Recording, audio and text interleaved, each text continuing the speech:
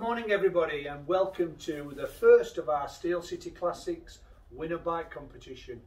24.99 gets you the chance to win this bike. This is a Suzuki GT750 showing 10,266 miles on the clock. It's a 1976 and it's our showcased first of all many that we will probably do.